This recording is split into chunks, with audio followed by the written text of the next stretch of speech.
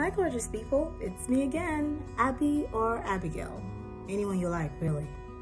So I've come today with another word of advice and encouragement, and I hope that it makes sense to you.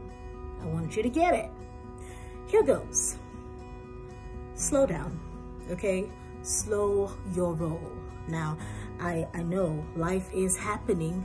People are making it big and you're just here with no achievement to your name. Your love life is as dry as a desert. Your finances are crashing and you're drowning in debt. I get it. I can relate, trust me. But just because things are looking like that right now is no license or excuse to rush and make mistakes. Slow down. You're not in competition with anybody. God has made you for a purpose and your announcement has a time. When it's your time, honey, nobody's going to shut you down. You better know that. Better believe it.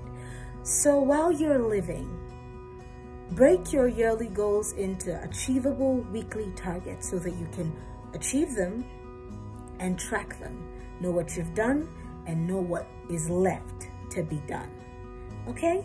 You're not in competition. You're not in any competition. You are heading to your big place, your high places. So while you're at it, don't rush. Slow down, one step at a time. Did you get it?